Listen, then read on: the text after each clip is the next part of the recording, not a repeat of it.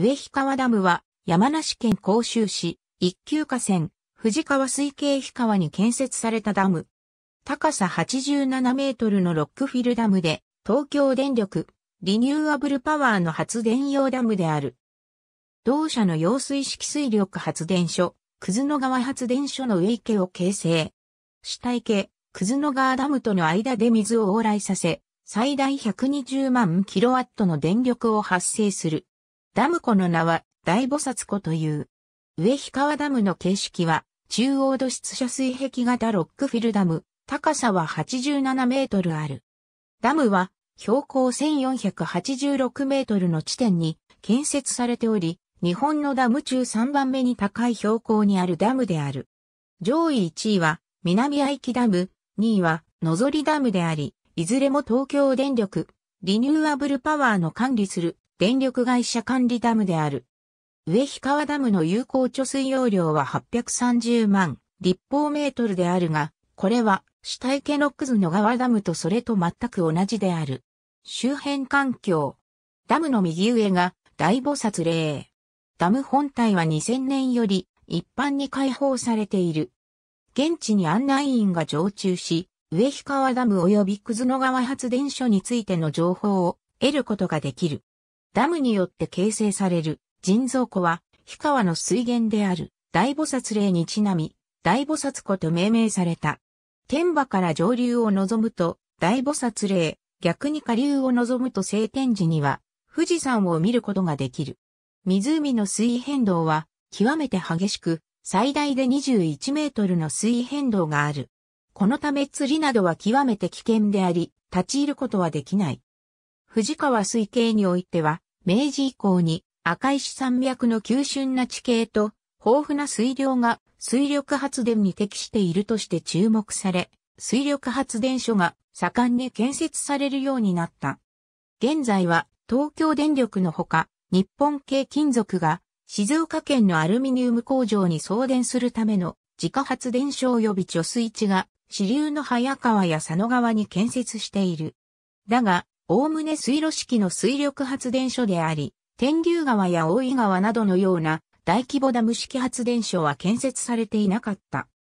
東京電力は増え続ける電力需要に対応するべく揚水発電による新規電源開発計画を模索していたが、1989年より相模川水系と藤川水系という異なる二水系を利用した葛野川発電所の建設計画を立案した。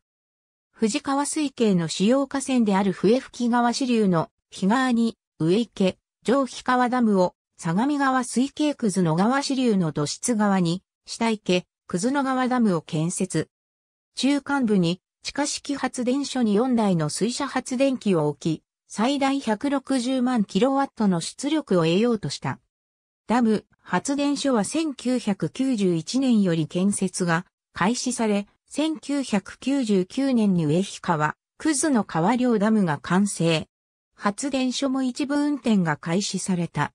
現在は計画の75%にあたる120万キロワットを発電している。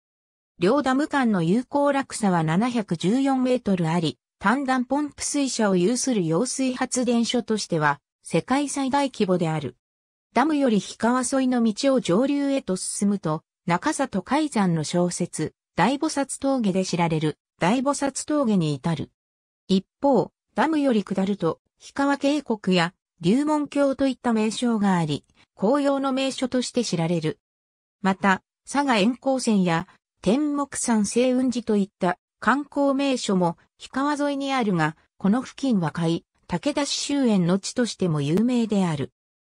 1582年4月3日、織田信長、徳川家康、北条氏政連合軍の攻撃を受け、新浮上を追われた武田勝頼は、ダム下流の天目山星雲寺へ逃れようとしたが、残りわずかのところで、滝川一正らの軍勢に追いつかれ、勝頼以下全員戦死、自陣し武田氏は滅亡した。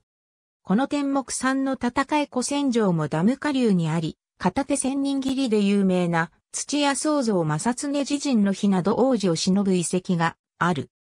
中央自動車道、勝沼インターチェンジから国道20号を新笹後、トンネル方面へ向かい、氷川を渡る手前の端かの京北詰交差点を曲がり、山梨県道218号大菩薩端かの線を直進、北上すると上氷川ダムに至る。国道411号からも行くことができるが、道幅が狭く、急カーブの続く山道なので、国道20号経由の方が安全である。